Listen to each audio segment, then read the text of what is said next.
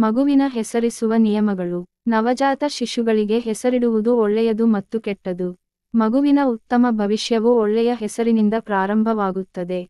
ನೀವು ಮಗುವಿನೊಂದಿಗೆ ಸರ್ವಶಕ್ತನಾದ ಅಲ್ಲಾ ದೇವರಿಂದ ಆಶೀರ್ವದಿಸಿದಾಗ ನೀವು ಏನು ಮಾಡುತ್ತೀರಿ? ಪ್ರಮುಖ ಇಸ್ಲಾಮಿಕ್ ಆಚರಣೆಗಳು ಮತ್ತು ಮಗುವಿಗೆ ಹೆಸರಿಸುವುದು. ಪರಮ ಕರುಣಾಮಯಿ ಕರುಣಾಮಯಿ ಅಲ್ಲಾಹನ ಹೆಸರಿನಲ್ಲಿ. ನವಜಾತ ಮಗುವಿಗೆ ಆರು ಪ್ರಮುಖ ಕ್ರಿಯೆಗಳಿವೆ. ಒಂದು, ಕಿವಿಯಲ್ಲಿ ಅದಾನ್ ಮತ್ತು ಇಖಾಮ. ಎರಡು, ಮಗುವಿಗೆ ಹೆಸರಿಡುವುದು. ಮೂರು ತಾಹ್ನಿಕ್ ನಾಲ್ಕು, ಮಗುವಿನ ಕೂದಲು ಶೇವಿಂಗ್. ಐದು ಅಕಿಖಾ ಆರು, ಸುನ್ನತಿ. ಒಂದು, ಮಗುವಿನ ಕಿವಿಯಲ್ಲಿ ಅದಾನ್, ಅಜಾನ್ ಮತ್ತು ಇಕಾಮ ನವಜಾತ ಶಿಶುವಿನ ಬಲ ಕಿವಿಯಲ್ಲಿ ಅದಾನ್ ಮತ್ತು ಎಡ ಕಿವಿಯಲ್ಲಿ ಇಖಾಮವನ್ನು ಹೇಳಲು ಶಿಫಾರಸು ಮಾಡಲಾಗಿದೆ. ಈ ಕಾರ್ಯಕ್ಕೆ ಯಾವುದೇ ನಿರ್ದಿಷ್ಟ ಸಮಯವಿಲ್ಲ, ಆದ್ದರಿಂದ ಸಾಧ್ಯವಾದಷ್ಟು ಬೇಗ ಇದನ್ನು ಮಾಡಬೇಕು. ಮಗುವು ಕೇಳುವ ಮೊದಲ ಪದಗಳು ಅಲ್ಲಾಹನ ಏಕತೆಯ ಬಗ್ಗೆ ಎಂಬುದು ಮುಖ್ಯ. ಇದನ್ನು ಮಾಡುವಾಗ ನೆನಪಿಡುವ ವಿಷಯಗಳು. ಕಿಬ್ಲಾವನ್ನು ಎದುರಿಸಿ, ಮೃದುವಾಗಿ ಮಾತನಾಡಿ, ನಿಮ್ಮ ಧ್ವನಿ ಎತ್ತುವ ಅಗತ್ಯವಿಲ್ಲ. ನಿಮ್ಮ ಕಿವಿಯಲ್ಲಿ ನಿಮ್ಮ ಬೆರಳುಗಳನ್ನು ಹಾಕುವ ಅಗತ್ಯವಿಲ್ಲ.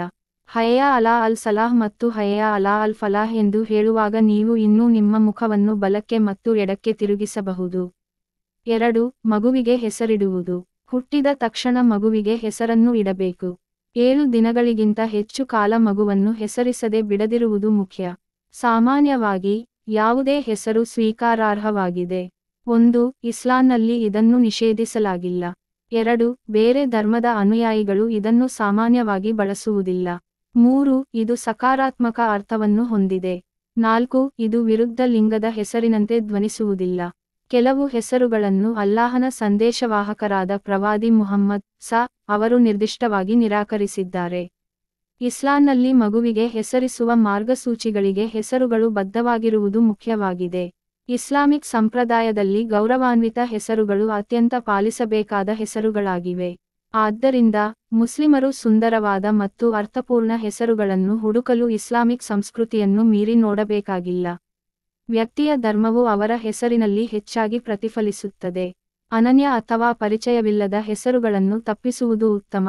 ಏಕೆಂದರೆ ಈ ಅಭ್ಯಾಸವನ್ನು ವಿರೋಧಿಸಲಾಗುತ್ತದೆ. ಮುಸ್ಲಿಂ ಸಮುದಾಯದಲ್ಲಿ ವ್ಯಾಪಕವಾಗಿ ಗುರುತಿಸಲ್ಪಟ್ಟ ಹೆಸರನ್ನು ಆಯ್ಕೆ ಮಾಡುವುದು ಯೋಗ್ಯವಾಗಿದೆ. ಸೂಕ್ತವಲ್ಲದ ಹೆಸರುಗಳು ನಿಮ್ಮ ಮಗುವಿಗೆ ದುರದೃಷ್ಟ ಮತ್ತು ನಕಾರಾತ್ಮಕತೆಯನ್ನು ತರಬಹುದು, ಇದು ದೀರ್ಘಾವಧಿಯ ಪರಿಣಾಮಗಳಿಗೆ ಕಾರಣವಾಗಬಹುದು. ನಿಮ್ಮ ನವಜಾತ ಶಿಶುವಿಗೆ ಹೆಸರಿಸುವ ತತ್ವಗಳನ್ನು ಎತ್ತಿಹಿಡಿಯುವುದನ್ನು ಖಚಿತಪಡಿಸಿಕೊಳ್ಳಿ. ಹೆಸರುಗಳನ್ನು ಇದರಿಂದ ಪಡೆಯಬೇಕು. ಎ. ಖುರಾನ್. ಬಿ. ಅಹದಿಕ್ ಅಂತಿಮ ಪ್ರವಾದಿ ಮುಹಮ್ಮದ್ ಅವರ ಬೋಧನೆಗಳು ಮತ್ತು ಅಭ್ಯಾಸಗಳು ಅವರ ಮೇಲೆ ಶಾಂತಿ ಇರಲಿ, ಇದು ನಮ್ಮ ಮಾರ್ಗದರ್ಶನಕ್ಕಾಗಿ ಸರ್ವಶಕ್ತ ಅಲ್ಲಾಹನಿಂದ ಬಹಿರಂಗವಾಯಿತು. ಸಿ. ಸಹಬಾಗಳ ಹೆಸರುಗಳು. ಡಿ. ಇಸ್ಲಾಂ ಧರ್ಮದಲ್ಲಿ ನೀತಿವಂತ ಪೂರ್ವಜರ ಹೆಸರುಗಳು. ಎ. ಉಮ್ಮಾದಲ್ಲಿ ಸಾಮಾನ್ಯವಾಗಿ ಅಂಗೀಕರಿಸಲ್ಪಟ್ಟ ಹೆಸರುಗಳು. ಮೂರು. ತಾಹ್ನಿಕ್. ತಹ್ನಿಕ್ ಮಾಡುವುದು ಸುನ್ನತ್ ಆಗಿದೆ ಮತ್ತು ಮಗುವಿನ ಜನನದ ನಂತರ ಸಾಧ್ಯವಾದಷ್ಟು ಬೇಗ ಮಾಡಬೇಕು. ಇದು ಮೃದುವಾಗುವವರೆಗೆ ಖರ್ಜೂರದ ತುಂಡನ್ನು ಜಗಿಯುವುದನ್ನು ಒಳಗೊಂಡಿರುತ್ತದೆ ಮತ್ತು ನಂತರ ಅದನ್ನು ನವಜಾತ ಶಿಶುವಿನ ಅಂಗುಳಿನ ಮೇಲೆ ಇಡುತ್ತದೆ. ತಾತ್ವಿಕವಾಗಿ, ಒಣ ಖರ್ಜೂರಗಳನ್ನು ಬಳಸಬೇಕು, ಅವು ಲಭ್ಯವಿಲ್ಲದಿದ್ದರೆ ತಾಜಾ ಖರ್ಜೂರ ಅಥವಾ ಜೇನುತುಪ್ಪವನ್ನು ಬದಲಿಸಬಹುದು. ಪೋಷಕರು ತನ್ನಿಕ್ ಮಾಡಲು ಮತ್ತು ಮಗುವಿಗೆ ದುವಾ ಮಾಡಲು ಧಾರ್ಮಿಕ ವ್ಯಕ್ತಿಯನ್ನು ಹುಡುಕಲು ಶಿಫಾರಸು ಮಾಡಲಾಗಿದೆ.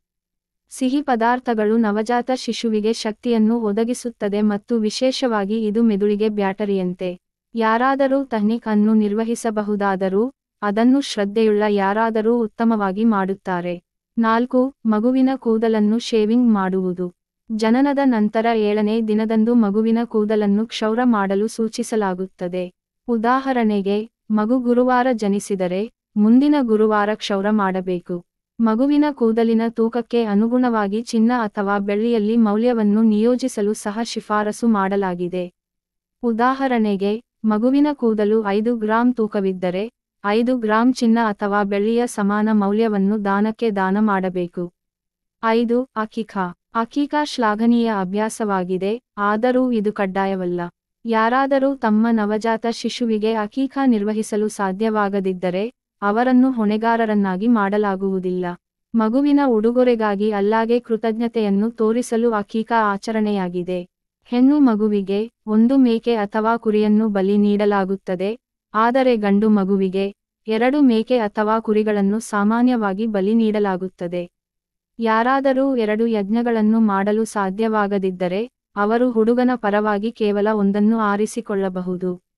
ಯಜ್ಞವನ್ನು ಕೈಗೊಳ್ಳಲು ಸೂಕ್ತವಾದ ಸಮಯವೆಂದರೆ ಮಗುವಿನ ಜನನದ ನಂತರ ಏಳನೇ ದಿನ, ಮಗುವಿನ ಕೂದಲು ತೆಗೆದ ನಂತರ. ಅಕಿಖಾ ಮಾಂಸದ ಮೂರನೇ ಒಂದು ಭಾಗವನ್ನು ಅಗತ್ಯವಿರುವವರಿಗೆ ದಾನ ಮಾಡಲು ಸಲಹೆ ನೀಡಲಾಗುತ್ತದೆ. ಉಳಿದ ಮೂರನೇ ಎರಡರಷ್ಟು ಭಾಗವನ್ನು ಕುಟುಂಬ, ಸ್ನೇಹಿತರು ಮತ್ತು ಅತಿಥಿಗಳೊಂದಿಗೆ ಹಂಚಿಕೊಳ್ಳಬಹುದು.